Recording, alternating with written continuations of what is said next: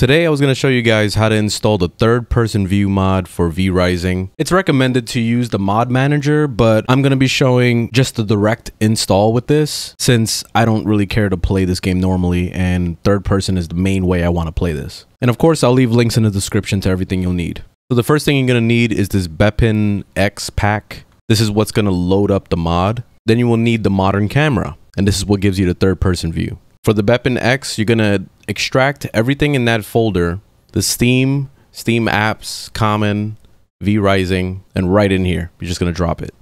For the modern camera, you're just going to be extracting two files out of this one.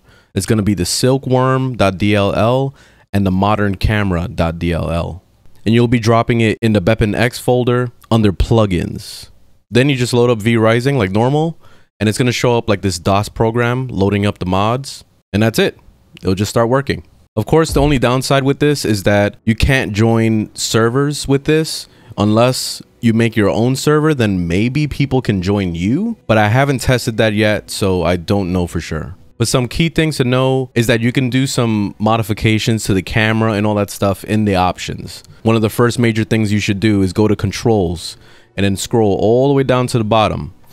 You'll see the modern camera tab and you'll have this action mode. You want to bind this to some key. I bound mine to the, the side mouse button so that it locks the cursor so you could be able to like freely look around. Another thing you can do in the options is you can change some more parameters under general and you go down under modern camera and there's a few things you can do. You can enable and disable the modern camera, which is also a setting for that as a keybind. So if you want to shut it off or put it back on, you can easily do that. You could disable the first person view if you don't like that.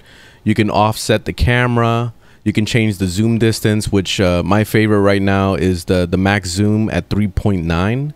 Uh, this makes it so that the maximum zoom when you, you scroll wheel looks like this and I, I, like how close it is because it feels more authentic like a third person game would. And plus it's gonna be less of the camera clipping through the walls because if you get too close to a wall the camera will go through it.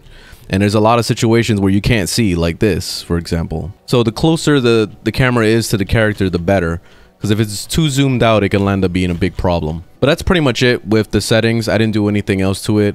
Uh, I was really happy with the way this is. Honestly, I wouldn't be playing this game right now if it wasn't for this third person mod. So thank you to the people that actually went through the effort to actually make this happen because this is awesome. And I really wish the game was like this by default. And I really wish that Diablo series would also implement something like this. Because imagine being able to not only spin your camera while it's looking in the top down view, but also be able to use third person view as an option. That would be beautiful in the Diablo game. But I don't think they're ever going to do that. So uh, I'll just settle for V Rising right now. But anyways, I hope this was helpful. Thanks for watching. And I'll see you guys in the next one. Later.